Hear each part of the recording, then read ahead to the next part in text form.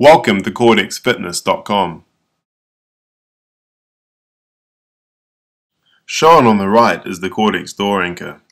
This nifty invention will allow you to simulate any gym exercise from the comfort of your own home. Let me show you. Open your door and feed the door anchor through the hinge side of your door.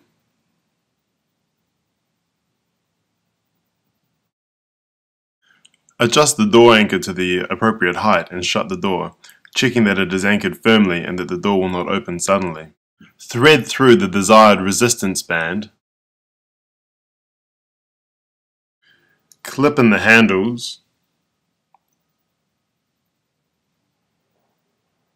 And start working out.